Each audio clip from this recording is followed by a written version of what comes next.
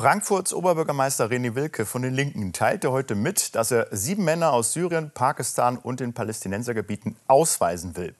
Sie gehören zu der Gruppe von Asylbewerbern, die für eine ganze Reihe von Straftaten verantwortlich sein soll, auch für den Angriff auf den Froschclub vor drei Wochen. Ob und wann es zur Ausweisung tatsächlich kommt, ja, das kann sich lange hinziehen. Fest steht, dass Wilke für sein Vorhaben Beifall und Kritik bekam. Allerdings wirft seine Begründung teilweise auch Fragen auf, wie Michael Lietz zeigt. Oberbürgermeister Wilke will ein Zeichen setzen und leitet die Ausweisungsverfahren ein. Das Gastrecht habe verwirkt, wer sich gravierend fehlverhält. Begründungen für Fehlverhalten liefert er bereits letzte Woche im Interview mit dem Radiosender Pure FM. Da spricht er von einer extremen Situation für das Personal in der JVA Wriezen wegen der in Untersuchungshaft einsitzenden Syrer. In Wriezen im Gefängnis haben die Therapeuten und, und Traumatologen ihre Arbeit niedergelegt, weil sie Angst um ihr Leben haben.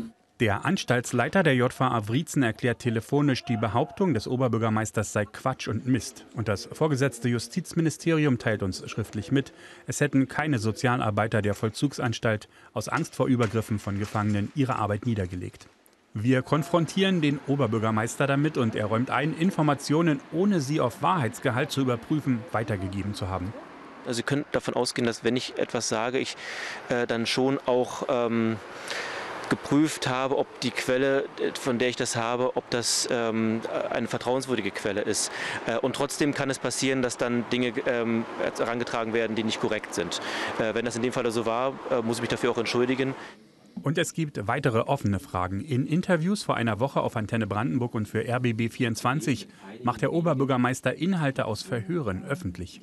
Ich nehme jetzt wahr, dass es da auch keinerlei Schuldbewusstsein gibt äh, bei denjenigen, sondern eher ein Rechtfertigen ihrer Taten und immer noch die Überzeugung, dass es genau richtig war. Und das bringt das Fass für mich auch wirklich zum Überlaufen. Wilke verstößt damit möglicherweise gegen den Datenschutz. Erkenntnisse aus Ermittlungsverfahren gehören nicht in die Öffentlichkeit, sagen Juristen wie Dieter Bollmann. Als SPD-Mitglied hatte er den linken René Wilke im Wahlkampf unterstützt. Seine neuerlichen Aussagen kann er nicht mehr teilen. Da hat äh, äh, Obi Wilke äh, die Meinung vertreten, das sind böse Menschen. Also erstmal mein Standpunkt ist, es gibt keine bösen Menschen. Es gibt Menschen, die ähm, sich äh, unzulässig verhalten, die sich strafbar verhalten. Und äh, aus, aus Ermittlungsakten in die Öffentlichkeit zu ziehen, halte ich zumindest für, für höchst bedenklich. Ja. Wilke bestreitet, Einsicht in Ermittlungsakten gehabt zu haben. Ich werde natürlich nicht sagen, ähm, woher ich Informationen habe. Ich kann nur sagen, dass mit einem Oberbürgermeister und äh, viele sprechen.